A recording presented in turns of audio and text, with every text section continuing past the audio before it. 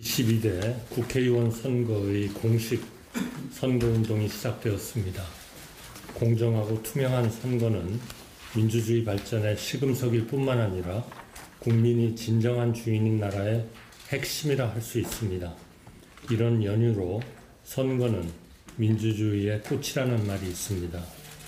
정부는 대한민국 헌법과 공직선거법에 따른 제22대 국회의원 선거가 국민의 자유로운 의사와 민주적인 절차에 따라 원만하게 이루어질 수 있도록 최선을 다해 지원하고 있습니다. 오늘 관계장관 회의에서는 이번 선거 지원과 관련하여 행정부 차원에서 추진하고 있는 주요 지원 상황을 최종 점검하는 시간을 갖고자 합니다. 그동안 정부는 중앙선거관리위원회와 협력하여 공정하고 투명한 선거를 위한 방안을 마련하였습니다.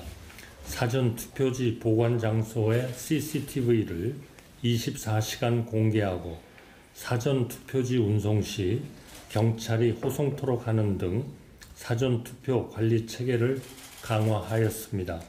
아울러 투개표 과정에서 모든 투표지를 손으로 직접 확인하는 수검표 절차를 추가하고 해킹의 위험이 없도록 전산 시스템에 대한 보안도 강화하였습니다.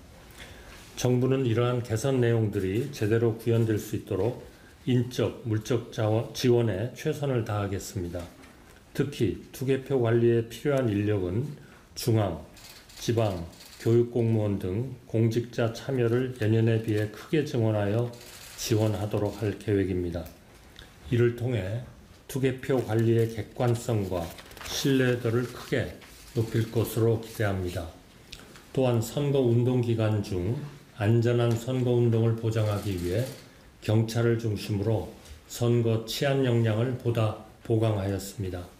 특히 선거 운동 과정에서의 폭력 행위에 대해서는 무관용 원칙으로 엄정 대응하도록 하겠습니다. 선거 지원 사무를 총괄하는 행정안전부를 중심으로 관계 부처에서는 그 어느 때보다도 막중한 책임감을 갖고 선거 관리와 지원 업무에 한치의 소홀함이 없도록 만전을 기해 주시기 바랍니다.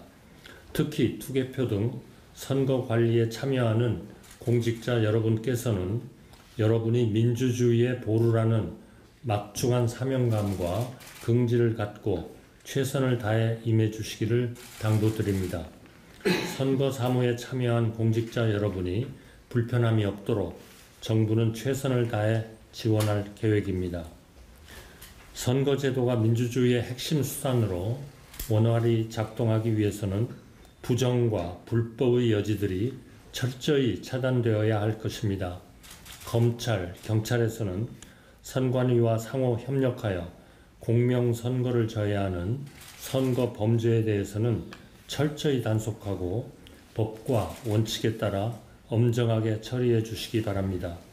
특히 신종 위법, 달법 사례에 대해서는 준비 단계에서부터 철저히 분석하고 대응하기 위한 체계를 갖춰 주시기 바랍니다. 아울러 모든 공직자들은 공무원의 정치적 중립 의무를 각별히 유념하여 정치적 오해의 소지가 없도록 언행에 유의해 주시기 바랍니다.